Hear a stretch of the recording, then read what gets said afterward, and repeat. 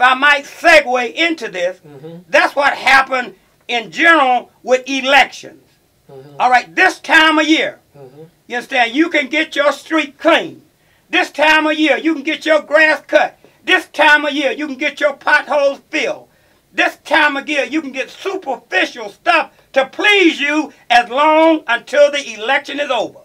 And uh, so they will blind your eyes until the election is over, and then they'll go back to doing the same darn thing that they did before. It's time to wake up, Cleveland. Wake up, Cleveland. Sounds wake like up, a- East Cleveland. Sounds like a relationship. People Absolutely. put their best foot forward. They uh, representative, they mascot, whoever they want to think you that they ought to be, and then after you get in a relationship, after you vote them in, after you come to an agreement, then the real side comes out.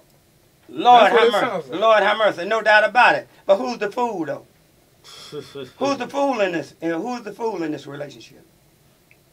The voters is the Voters, fool. If yeah. they keep, hey, hey, hey, if you keep getting tricked over and over and keep doing the same thing, then you're the fool, not the politicians. Right. The politicians are the slicksters. That's what they're meant to be.